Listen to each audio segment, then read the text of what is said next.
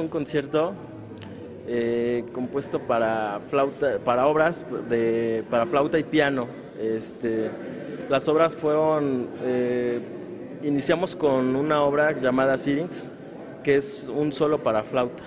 Luego de ahí seguimos con una obra del compositor Juan Sebastián Bach, que es una sonata en mi menor, la sonata número uno.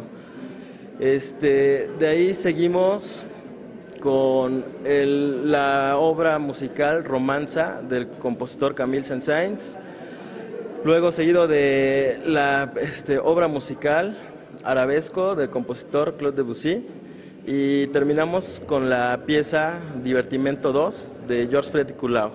Otro año más, Javier, este, y bueno, pues contento por la asistencia de, pues, de toda la gente, contento, eh, pues agradecido más que nada también con Dios, pues por otro año más, como ya lo mencionas.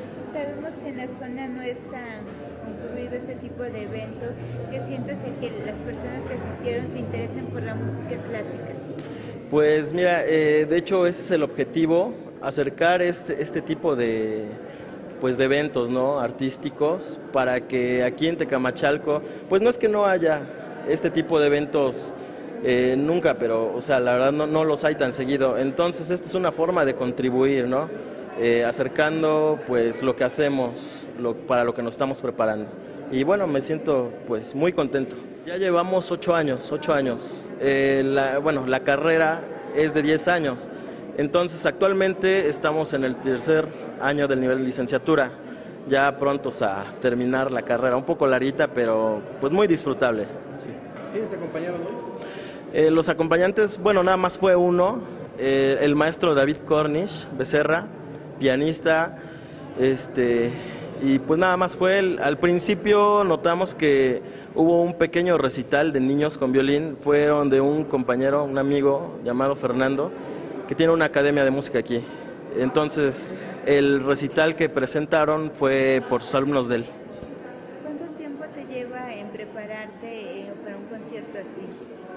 Realmente, pues sí, este, como siempre, ¿no? Ya los resultados se ven en un lapso de unos 40 minutos, ¿no? Máximo una hora. Pero realmente sí es una preparación ardua, eh, más o menos nos tomamos unos cuatro o cinco meses en estar preparando, viendo obras, estar investigando.